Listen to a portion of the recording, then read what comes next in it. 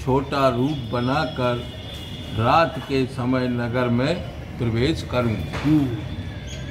Machac समान रूप भक्तों, जय जय सीताराम जी की। आप श्रवण कर रहे हैं रामचरितमानस से सुंदरकांड। दुआ क्रमांक तीन से आगे। सुंदरकांड दुआ क्रमांक तीन से आगे अर्थ सहित नाम लंकनी एक निसचारी सो कही चलित मोहि। निर्धारी। महावीर जी मच्छर के समान अर्थात अत्यंत छोटा रूप धा, धारण पूर्वक नरों में सिंह रूप ऐसे श्री रामचंद्र जी को सुमरते लंका को चले। यह मशक समान मच्छर का अर्थ यह है कि अपने कपि रूप को बहुत छोटा कर लिया। मशक शब्द उपमा में पड़ा है। उपमा उपयोग में बड़ा अंतर रहता है। ताल तालाब की उपमा समुद्र से और मनुष्य की इंद्र से दी जाती है। और नर हरि को सुमर के चले। अर्थात नरों में सिंह जो रघुनाथ उन्हें अथवा नरसिंह जी का स्मरण किया। यदि हम्म, किया।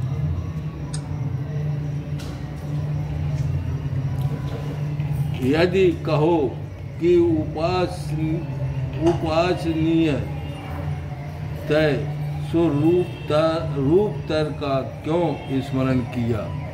जो तो सामा समाधान यह है कि रघुनाथ जी हाँ जय श्री राम जय माता रघुनाथ जी का रूप दया में है और इन्हें उपद्रव करना है। इस कारण काराल रूप नरसिंह को स्मरण किया, अथवा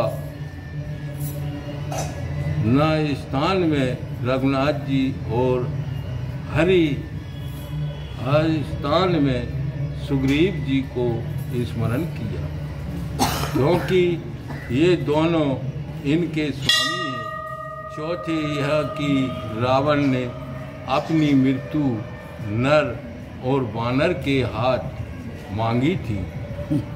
सो उसी कारण से नर और वानर को सुमर कर लंका में चली। कोई मशक समान के अर्थ में बिलाब के समान बड़ा रूप धरा। यह कहते हैं परंतु यह संदिग्ध नहीं होता। वास्तव में मशक का अर्थ बहुत छोटे रूप रूप का है। जैसे आगे लिखा है अति लदी रूप धराओ हनुमान। अति लघु हाँ। छोटा रूप। क्योंकि यदि मशक का अर्थ अच्छ मच्छर करे तो अंगूठी कहाँ रही? यह शंका होगी। इससे यह ठीक नहीं लंकनी नाम एक छठी छठी हुई राक्षसी थी। सो महावीर जी को देख बोली अरे मुझे तिरस्कार कर कहाँ जाता है? तिरस्कार मतलब बता। हाँ मुझे मुझे अपमान कर कहाँ जा अच्छा तो हाँ अपमान कर कहाँ जा रहा है? ये तेज सामने तो अंगूठी को क्लियर करो ना का है? अंगूठी? हाँ। हनुमान जी के मुख में है थी हाँ। सीता जी का। हाँ। तो वह अंगूठी वे जैसे संत लोग भक्त लोग जो भी है तो वे जब मच्छर के समान बन गए तो हनुमान जी अंगूठी कहाँ रही तो अंगूठी मुँह में कैसे रही? वह को प्रसन्न कर रहे थे। वह उत्तर का है। वांग देखो हाँ अब आगे मिले हुआ आपको। प्रिय भक्तों बहुत खास कथा चल रही है सुंदरकांड की। जन जन बास नहीं मारा मैं सटे मोरा। जानब से नहीं मारा मैं सटे मोरा। मोर आहार लंका कर चोरा। के एक महाकपिहानी रुदर बामत धरनी ठन मानी। और बोली, मूर्ख मेरे भेद को तू नहीं जानता। लंका में जो चोर आते हैं, मैं उन सबको खा जाती हूँ। महावीर जी ने उसके एक महा बेग से घुसा मारा, कि उसके मुख से रुधिर बहने लगा और वह घूम कर धरनी में गिर पड़ी।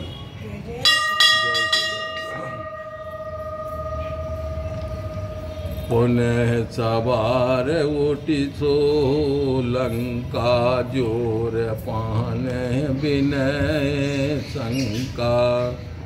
जब रावण बिरमा बर दीना, चलत बिरंच का मोह चीना।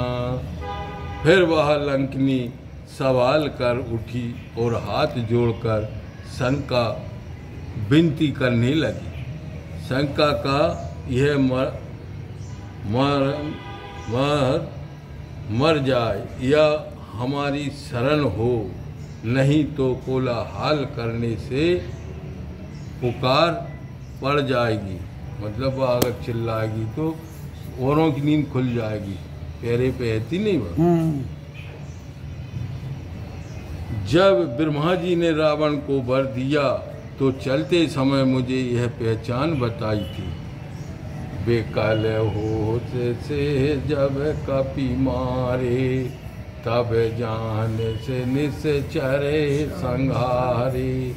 तात मोर अति पुण्य बहुता कौने राम कर दूता।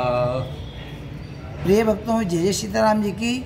आप श्रवण कर रहे हैं सुंदरकांड अर्थ सहित। कि जब कपि के मारे से तू व्या व्याकुल हो जाए, तब जान, जानने के, जानने की अब राक्षस मारे जाएँगे। जो बानर जानकी की शुद्ध को आवेगा उसी के मारने से तू व्याकुल होगी। हे तात मेरा बड़ा भारी पुण्य है जो तुमसे रघुनाथ जी के दूत को देखा। रघुनाथ जी की हल गई ना? लंगनी कह रही ना? लंकनी बोल रही। प्रिय भक्तों लंकनी को ब्रह्मा जी ने पहले ही बता दिया था जब कोई सीता जी को ढूँढने आएगा, वो आप पे प्रहार करेगा, उस समय आपका अंतिम समय होगा। तात सब आप का सुख दरह तुल तुलाए के अंग सकल मिले, जो सुख लब सत संग लखन। सिया राम चंद्र शंकर हरि ओम जय जय जय सिया राम जय हनुमान। हरि की जय। हे पुत्र सात स्वर्ग भूलोक भूलोक स्वर्गलोक के महल महल को जान लोक तप लोक सत्य लोक और अवर्ग अर्थात मोक्ष। सालोक्य, सामिव, सायुज्य सहरूप इन सबके मुख को तराजू के एक ओर रखे तो भी वह सब मिलकर उस मुख के बराबर नहीं होता। जो लब भर के भर के सत्संग में होता है जो सत्संग में हुए इतो बड़ो में है तराजू पे भी तोलोगे नहीं तो भी बाकी बुआ को नहीं होगा कोई। पूर्ण और जो मोह सत्संग में करे से सुख प्राप्त होगा वो हम्म, बुआ को बता रहा है। क्योंकि जी कटी पिटी अक्षर सुई है। बहुत कठिन है बारीकी है। रामायण जी बहुत पुरानी है। तो भी वह नहीं मिल जाए। मिलकर उस सुख के बराबर नहीं होता, सत्संग। एक एक एक ही नीचे पल की को छूकर उठ जाता है, उतने काल का नाम निवेश है। तुला का भारी पल्ला धरती पर झुके आता है। हल्का ऊपर जाता है। इसी प्रकार सत्संग की मुख्य मुख्यता धरती पर है।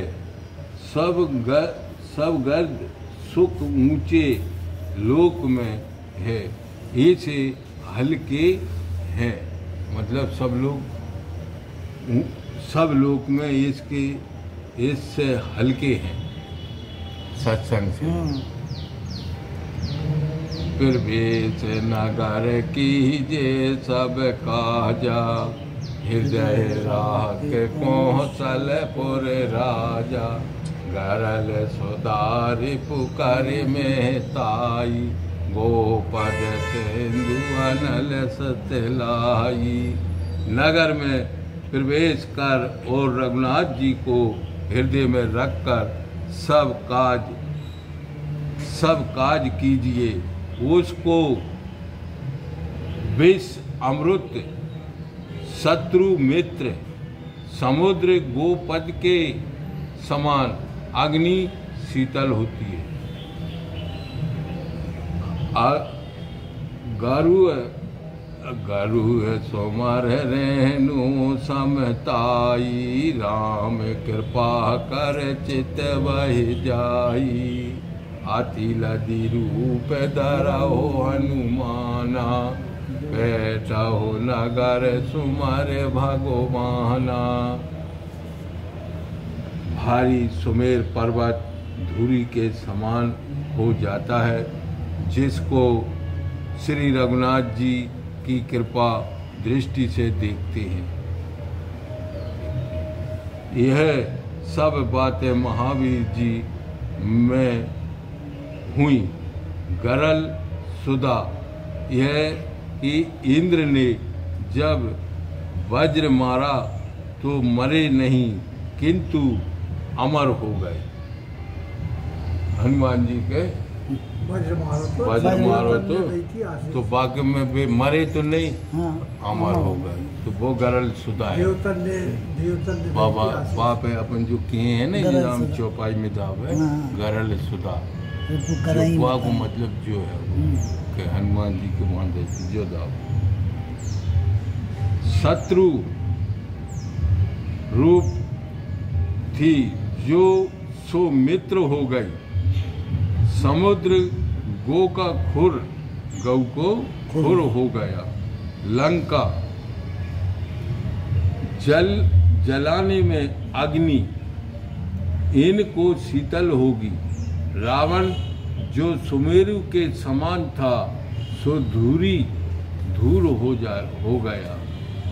महावीर जी ने बहुत छोटा रूप बनाया और भगवान को स्मरण कर नगर में घुसे। अब उससे भी छोटा रूप धर के चले कि कोई देख ना ले, हल्के हो गए। मंदर मंदर प्रीतिकर सोदा देख जाता। योधा गया हो दसानन मंदर माई अति विचित्र कही जात सुनाई। प्रत्येक मंदिर महावीर जी ने ढूंढा जहाँ तहाँ अनंत योद्धा देखे। रावण के मंदिर में गए, वहाँ ऐसा विचित्र है कि कहा नहीं जाता। सैन किए देखा कपिते ही मंदर में न देखे विधेही। महावीर जी ने उसको सोते देखा, परंतु मंदिर में जानकी जी को नहीं देखा। यह सकुन सगुन महावीर जी को अच्छा हुआ। कि शत्रु को सोता देखा। अगर शत्रु है कोई सो तो मिले। सो तो मिले तो सगुन है वो अच्छो अच्छे सब हैं। मार सके बाद में परास्त कर सकें। सोच लगे काया बहे जाऊँ कहा दरस सीता कर पाऊँ। सोचने लगे कि अब कहाँ जाऊँ और कैसे जानकी जी का दर्शन? पाऊँ। बिन देखे जो सीता ही जाऊँ, कैसे बदन पे प्रभु दिखाऊँ। जाम बाँध पू जाम बाँध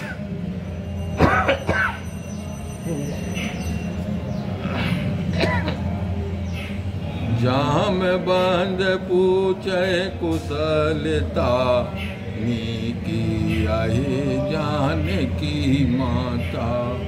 जो जानकी को बिना देखे जाऊँ तो कैसे प्रभु को मुख दिखलाऊँगा? जाम बंद जाम बंद जब कुशल पूछेंगे कि जानकी अच्छी है तो क्या उत्तर दूँगा? कवन उत्तर में देहूँ तिन जाई, पवन तनय मन मह पछताई। निश्चर घोर भंकार राई, सीता की सुध को न काई। तब उन्हें जाकर क्या उत्तर दूँगा?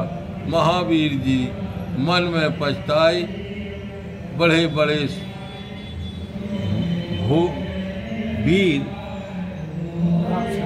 घोर, राक्षस रहते हैं। कोई जानकी की शुद्ध नहीं बता सकता। पूछाओ कहीं कहो के ही जाई जनक सुता को दे बताई। अब किससे जाकर पूछूँ? कौन जानकी को बता देगा जहाँ तो सब राक्षस ही राक्षस है। भवन एक पुन देख सुहावा, हरि मंदर भिन्न बनावा। एक, फिर एक सुंदर स्थान देखा, जो राक्षसी मंदिर से भिन्न रचना का था। अथवा एक हरि मंदिर भविष्य के मंदिर के निकट पृथ्वी पृथु के बना था? पृथक अलग। पृथक पृथक। हम्म। राम नाम अंकत गृह शोभा वरन न जाय देख मन मोहा। उस मंदिर पर राम का नाम अंकित था। ऐसे सुंदर घर का वर्णन नहीं हो सकता। जो देखते ही चित्त को मोह लेता था। रामायुध अंकट गिर वरणे न जाय नव तुलसी का बिंद कहाँ देख हरस कपिराय लखन सिया में चंद्र शंकर हरि जय जय सिया राम जय